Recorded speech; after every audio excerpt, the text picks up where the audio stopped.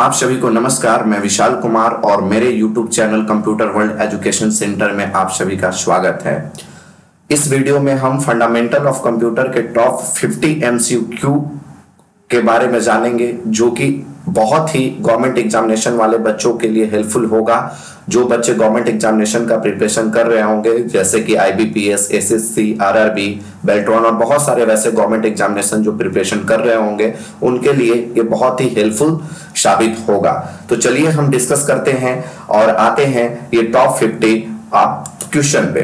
तो सबसे पहले मेरे चैनल का नाम कंप्यूटर वर्ल्ड एजुकेशन सेंटर है। आप ये टोटल क्वेश्चन 50 एमसीक्यू है और मेरा मोबाइल नंबर भी यहाँ पे दिया गया है। अगर आपको कोई भी प्रॉब्लम हो या किसी टॉपिक पे अगर आप जानना चाहते हो तो मेरे मोबाइल नंबर पे आप संपर्क कर सकते हैं और ये दोनों व्हाट्सएप नंबर भी है। तो सबसे पहला क्वेश्चन हम डिस्कस करते हैं। इसमें चार ऑप्शन दिए हुए हैं। अगर आपको आंसर पता हो तो कॉमेंट सेशन में या लिखें कि हाँ मुझे आंसर पता था इस क्वेश्चन का। और नहीं तो आप अगर फंडामेंटल ऑफ़ कंप्यूटर कभी पढ़े हो और तो खुद से आप इसे टिक आउट कर सकते हैं। और अगर आप ये सारे क्वेश्चन अगर ये 50 क्वेश्चन अगर आप कर लेते हैं तो आपको एग्जामिनेशन में बहुत ही हेल्पफुल होगा और फंडामेंटल ऑफ़ कंप्यूटर से रिलेटेड क्वेश्चन आपको एग्ज़ाम में छूटने वाला नहीं है। इसलिए इस वीडियो को ध्यान से देखें और पता है तो पेंसिल कॉपी लेकर बैठ जाइए और अपना टेक आउट करते रहिए। चलिए सबसे पहला स्टार्ट करते हैं। सबसे पहला क्वेश्चन इसका है कि the word computer has been derive from which of the following language यानी जो हम कंप्यूटर यूज़ करते हैं, जिसका हिंदी हम लोग प्रॉपर संगणक कहते हैं, वो कौन से लैंग्वेज से लिया गया है?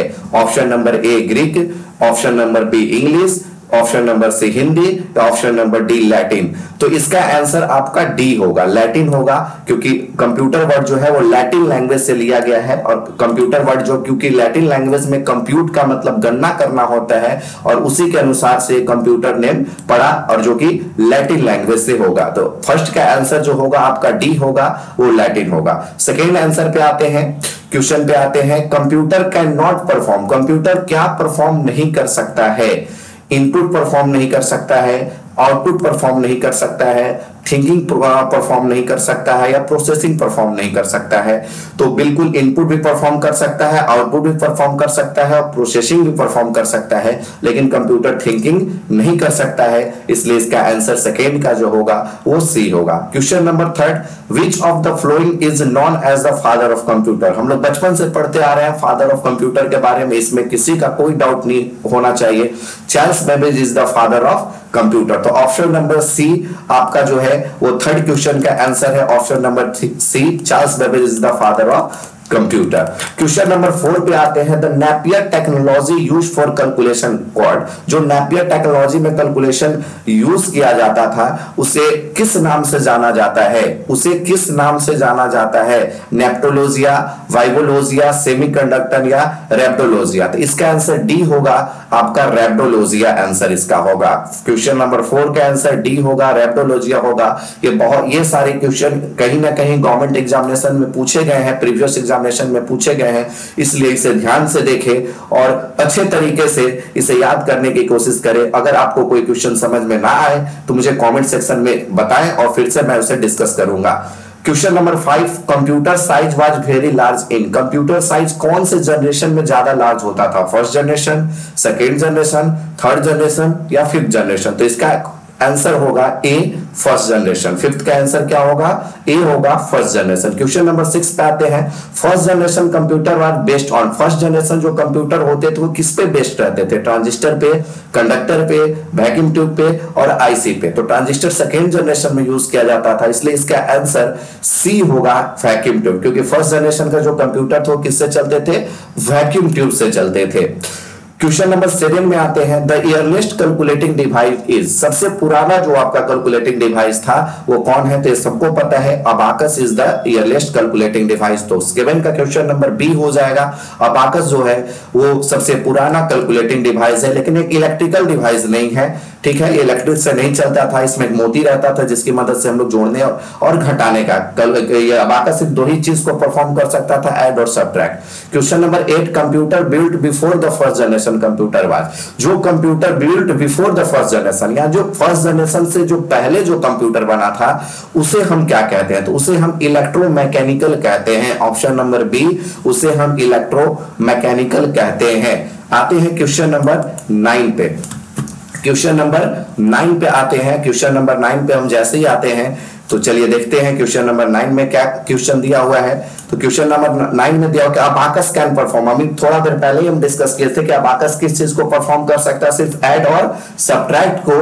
तो इसका ऑप्शन नंबर डी हो जाएगा both first and second question number ten पे आते हैं। Pascaline is also known by Pascaline को और किस नाम से जाना जाता है? तो उसे हम एडिंग मशीन के नाम से जानते हैं। पास्कलिन को हम लोग ब्लेस पास्कल से रिलेटेड है। ब्लेस पास्कल ने बनाया था तो पास्कलिन को हम एडिंग मशीन के नाम से जानते हैं। क्वेश्चन नंबर 11 पे आते हैं। हु डेवलप इंटीग्रेटेड सर्किट देखिए इंटीग्रेटेड सर्किट जो है, वो थर्ड जनरेशन में यूज़ किया जाता था। फ़र्स्ट जनरेशन में वैक्यूम ट्यूब सेकेंड जनरेशन में ट्रांजिस्टर थर्ड जनरेशन में आईसी का यूज़ किया जाता था। इन लोग आईसी भी कहते हैं इसे शॉर्ट फॉर्म में। तो इसका जो इन्वेंट किए थे, उनके डेवलप या इन्वेंटर का क्या नाम था तो उनका आंसर होगा जे एस किल्बी यानी आंसर सी जो आईसी का जो डेवलपर है, उनका नाम है जे एस किल्बी यानी ऑप्शन 11 क्वेश्चन नंबर का ऑप्शन नंबर सी हो जाएगा। क्वेश्चन नंबर 12 में आते हैं क्वेश्चन नंबर 12 में आते हैं तो which type of computer is used and automatic aircraft landing यानी किस कंप्यूटर का यूज़ किया जाता है ऑटोमेटिक एयरक्राफ्ट लैंडिंग के लिए? तो इसका आंसर क्वेश्चन ऑप्शन है general computer super computer special purpose computer micro computer या नन ऑफ़ डीज तो इसका आंसर हो जाएगा सी स्पेशल पर्पस कंप्यूटर का यूज़ ऑटोमेटिक एयरक्राफ्ट लैंडिंग के लिए किया जाता है। यानी ट्वेल्व का जो क्वेश्चन का जो आंसर होगा, वो सी होगा। आते हैं क्वेश्चन नंबर थर्टीन में artificial intelligence is an example of artificial intelligence किस जनरेशन का एग्ज़ाम्पल है? तो आर्टिफिशियल इंटेलिजेंस जो है वो आपको फिफ्थ जनरेशन का एग्ज़ाम्पल है।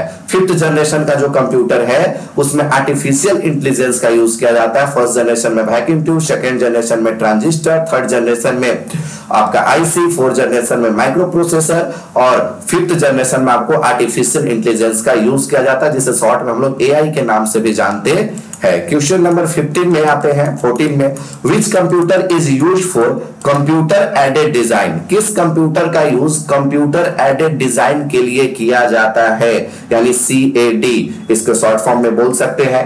कैलकुलेशन के लिए कंप्यूटर एडेड डिज़ाइन कैलकुलेशन के लिए किया जाता है। Mini computer mainframe computer super computer micro computer या नन ऑफ़ दीज तो इसका आंसर हो जाएगा A mini computer mini computer का यूज़ आपको सीएडी के लिए, यानी कंप्यूटर एडेड डिज़ाइन के लिए यूज़ किया जाता है। Question number fifteen a filling the blanks is a microprocessor based computing device जो माइक्रो प्रोसेसर पे बेस्ड होता है mainframe personal super analogue या नॉन ऑफ़ दिस तो इसका आंसर आपका बी हो जाएगा। पर्सनल कंप्यूटर जो होता है, वो माइक्रो प्रोसेसर पे क्या होता है? बेस होता है। क्वेश्चन नंबर 16 पे आते हैं। क्वेश्चन नंबर 16 पे आते हैं तो first computer of India is India का सबसे पहला कंप्यूटर कौन था? इंडिया का सबसे पहला कंप्यूटर कौन है? कौन था?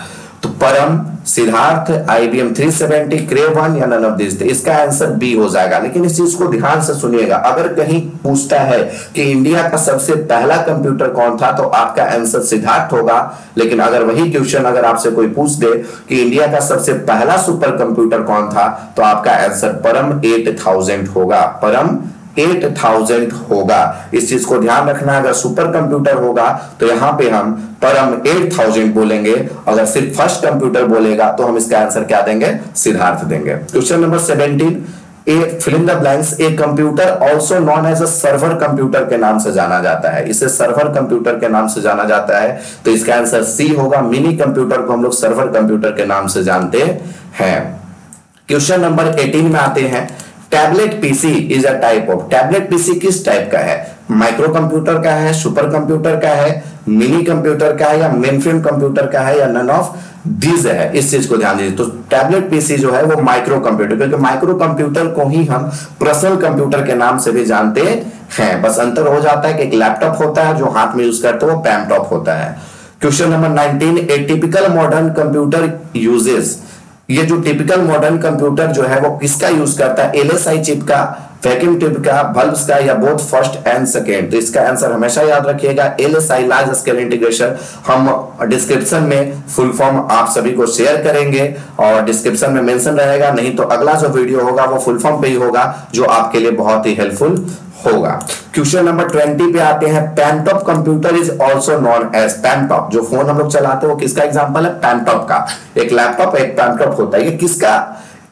इसको किस नाम से जाना जाता है? पर्सनल कंप्यूटर के नाम से नोटबुक कंप्यूटर के नाम से टैबलेट पीसी के नाम से हैंडहेल्ड कंप्यूटर के नाम से। तो इसका या डी ई जो है ऑप्शन नन ऑफ़ दिस तो इसका आंसर आपका डी हो जाएगा, जिसको हैंडहेल्ड कंप्यूटर के नाम से भी जाना जाता है। Question number twenty one is not a micro computer इसमें माइक्रो कंप्यूटर नहीं है। डेस्कटॉप कंप्यूटर माइक्रो कंप्यूटर है लैपटॉप भी माइक्रो कंप्यूटर है हैंड हेल्ड भी माइक्रो कंप्यूटर है टैबलेट पीसी भी माइक्रो कंप्यूटर है तो ऑप्शन नंबर ई हो जाएगा मेन फ्रेम कंप्यूटर एक माइक्रो कंप्यूटर नहीं है। माइक्रो कंप्यूटर को ही पर्सनल कंप्यूटर के नाम से जाना जाता है।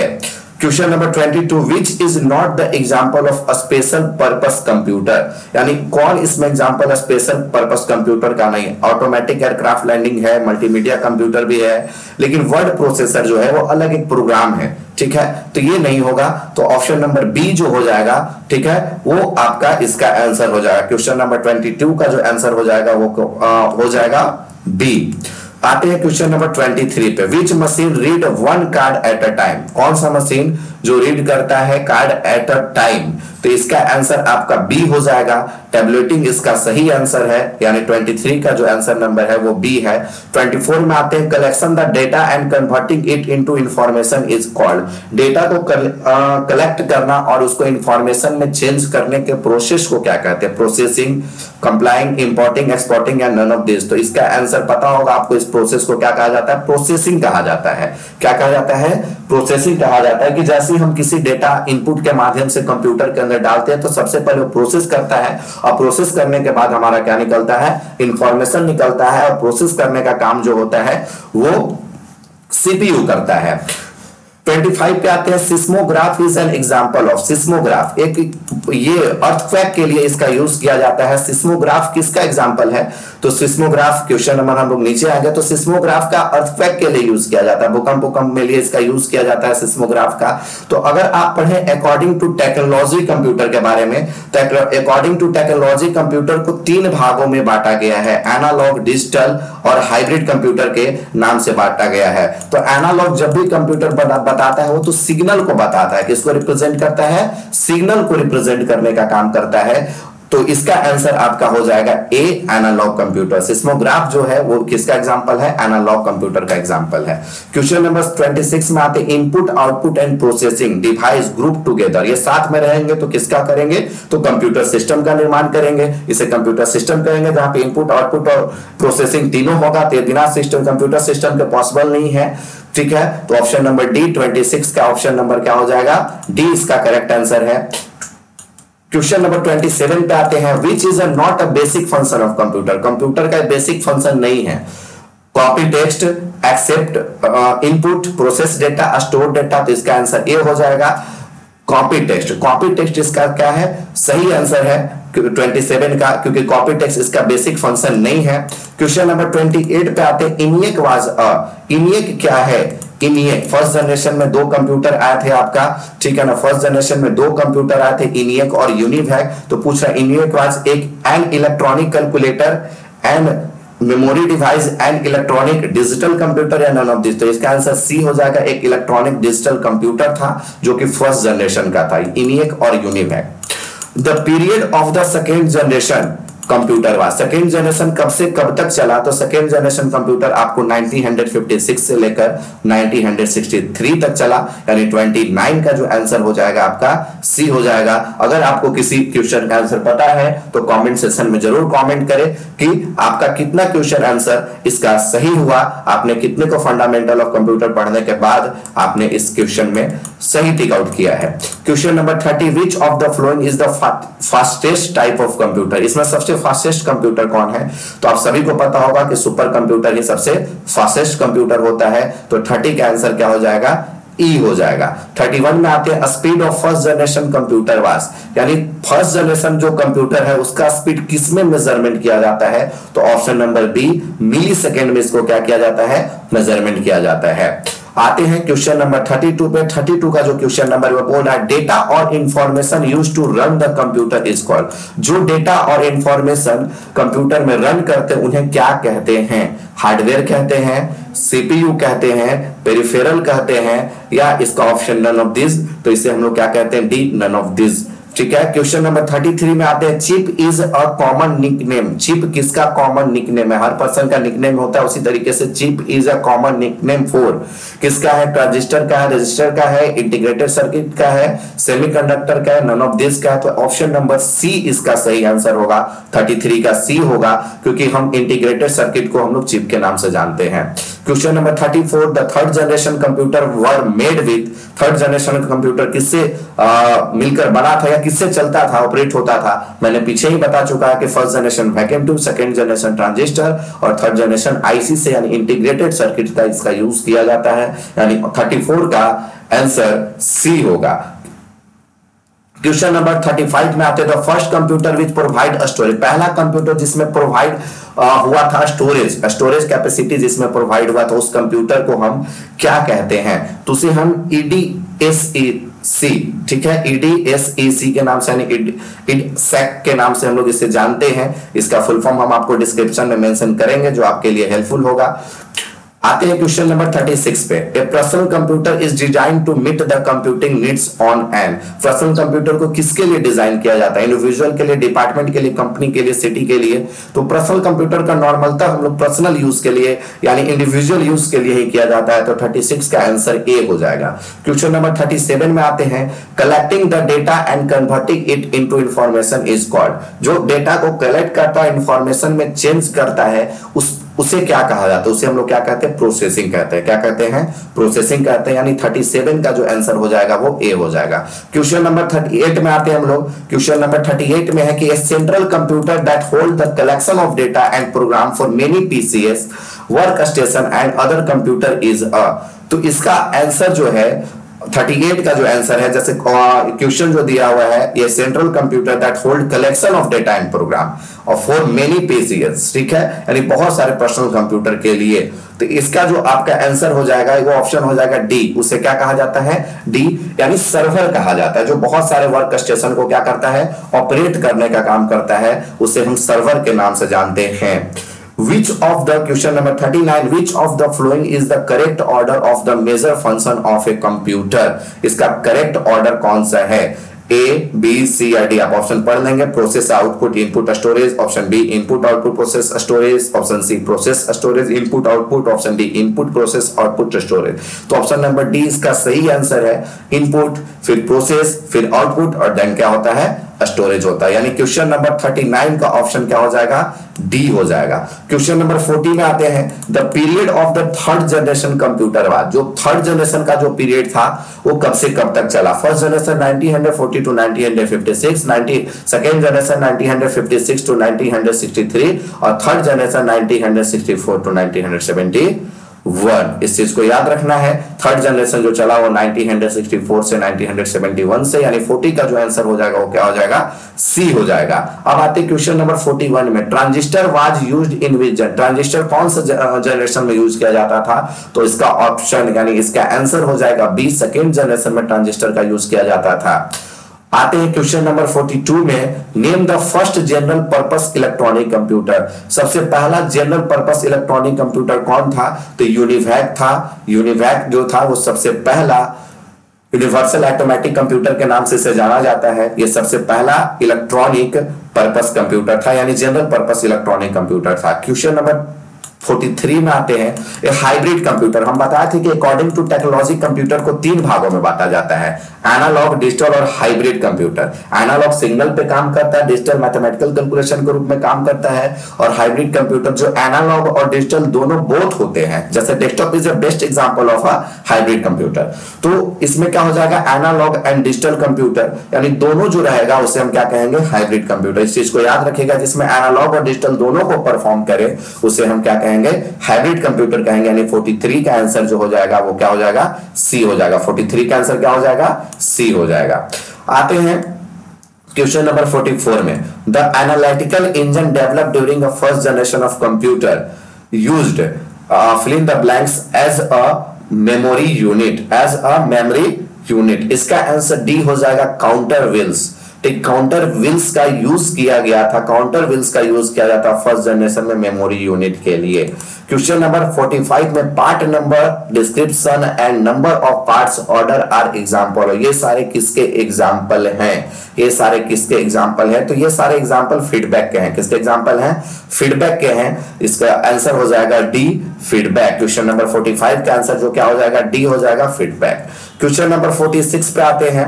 क्वेश्चन नंबर 46 जो दिया हुआ है punch card were first introduce by punch card जो था, वो सबसे पहले इंट्रोड्यूस कब हुआ? क्वेश्चन नंबर 46 का तो इसका इंट्रोड्यूस बाय किसने इंट्रोड्यूस किया था? पावर ने पास्कल ने जैक जैसे आईसी का जेएस किल्बी ने किया था, उसी तरीके से पंच कार्ड का जो इन्वेंटर वो हरमन हॉलरीड थे। कौन थे? हरमन हॉलरीड थे। यानी ऑप्शन क्या हो जाएगा इसका? डी इसका आंसर होगा। 46 का आंसर क्या होगा? डी होगा। 47 में आते हैं। The latest machine in the series of Param made by NIT Param जो सबसे पहला हमारा सुपर कंप्यूटर था परम 8000 उसी का है Param made by NIT Sikkim in 17 April 2016 जो सबसे लेटेस्ट मशीन अभी सीरीज़ लॉन्च हुआ है परम का। वो, उसका नाम क्या है? उसका नाम क्या है? तो उसका नाम है परम कंचनजंगा यानी ऑप्शन ए 47 का आंसर क्या हो जाएगा? ए हो जाएगा। आते हैं क्वेश्चन नंबर 48 पे। एक कलेक्शन ऑफ़ अनप्रोसेस आइटम जो कलेक्शन जो रहता है, वो अनप्रोसेस आइटम जो प्रोसेस नहीं रहता, उसे क्या कहते हैं हम लोग? इंफॉर्मेशन क्या कहते हैं? इंफॉर्मेशन यानी 48 का जो हो जाएगा आंसर वो ए हो जाएगा इंफॉर्मेशन इस चीज़ को ध्यान देना क्या हो जाएगा? Information question number 49 PCs personal computers are considered fourth generation and contains information data vacuum tube microprocessor या ट्रांजिस्टर। फ़र्स्ट जनरेशन आपको पता है vacuum tube, second generation transistor, third generation आई थी फोर्थ जनरेशन आपका किससे चलता था तो माइक्रो प्रोसेसर से। तो 49 का जो आंसर हो जाएगा वो सी हो जाएगा माइक्रो प्रोसेसर क्या आंसर हो जाएगा? Microprocessor question number 50 and last question a computer can not perform which of the following function computer इसमें कौन फ़ंक्शन को परफॉर्म नहीं कर सकता है? एडिशन तो कर सकता है। सब्ट्रैक्शन भी कर सकता है बेक और केक डिवीज़न का, ये को नहीं कर सकता। ठीक है? इस तरीके से आपका 50 इंपॉर्टेंट क्वेश्चन फंडामेंटल का आपका खत्म होता है और ये सारे क्वेश्चन आप सभी के लिए बहुत ही इंपॉर्टेंट है। इस क्वेश्चन को अच्छे से याद कर ले, देख ले और जहाँ जहाँ प्रॉब्लम हो, वहाँ कमेंट सेक्शन में मुझे लिख सकते हैं और जगह जगह स्क्रीनशॉट ले ले जहाँ आपको इंपॉर्टेंट लगे। अगर ये अगर यह वीडियो हमारी अच्छी लगे तो आप इसे शेयर सब्सक्राइब और लाइक ज़रूर करें और मुझे सजेस्ट करें कि अगला वीडियो आपका किस टॉपिक पे बनेगा। मैं आप सभी का धन्यवाद करता हूँ।